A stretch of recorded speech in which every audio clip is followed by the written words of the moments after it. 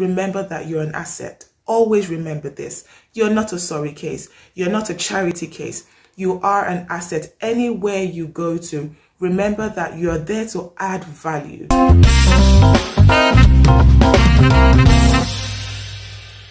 Hi ladies, how are you all doing? It's your girl Remi, your image and etiquette coach here at Tidemma Jewels London. So today ladies, I'm here to do a video to give you some quick tips on how to get a seat at the table. Because as women there's one thing I know. We all want to be successful. We all want to be seen. We all want to be noticed. We want to be acknowledged. But the question is how do we go about it the right way? Okay? Number one ladies do not go in there playing the I'm a woman card you are not a sorry case. You are not a pity party.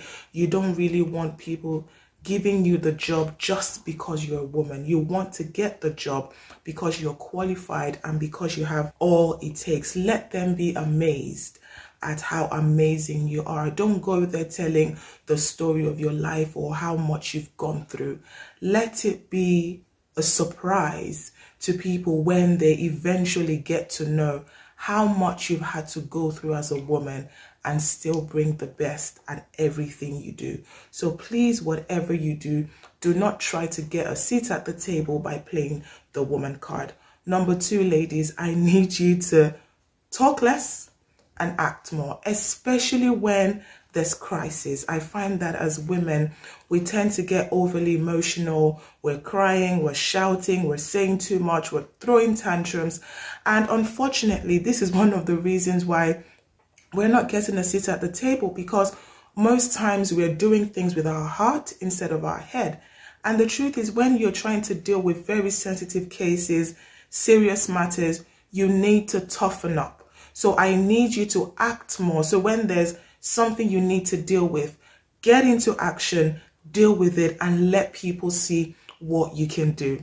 Number three, ladies, remember that you're an asset. Always remember this. You're not a sorry case. You're not a charity case. You are an asset anywhere you go to. Remember that you're there to add value. So whatever it is that you do, if they've given you an assignment, go over and beyond. Don't under deliver, over deliver.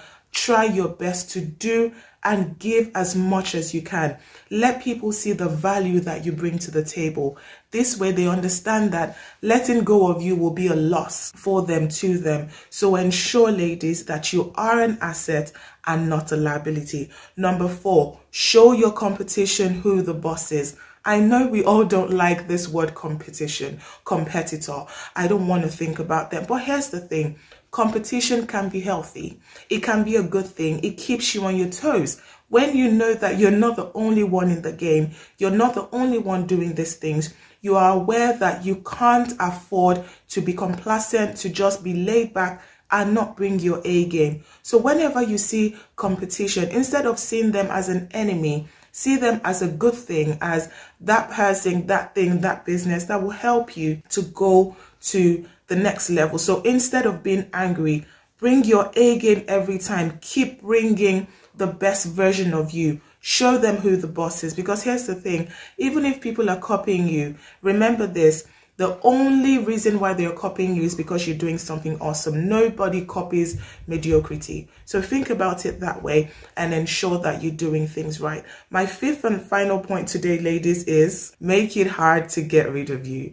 Ladies, make it so hard to let you go. I'm going to read um, an article that a client of mine sent to me last week and it made me laugh and it, I just thought I'll share it with you. I'll read it quickly. I just, you know, paraphrase. It says, another tip to enhance your persona in front of your boss and colleagues is to take a phone call or two in between the meeting. It's likely to make others intimidated.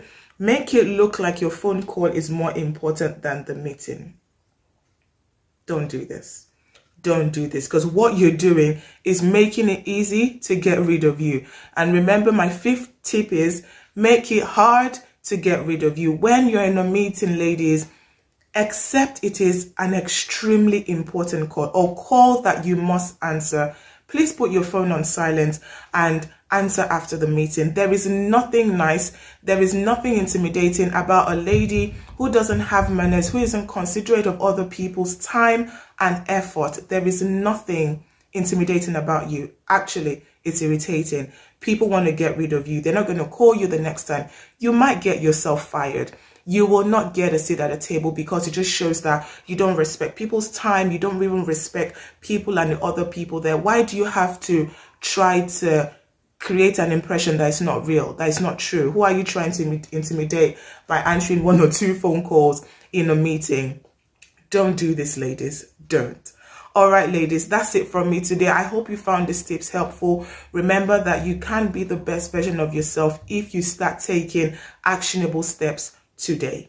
Thank you for watching and I'll see you next week. Bye-bye.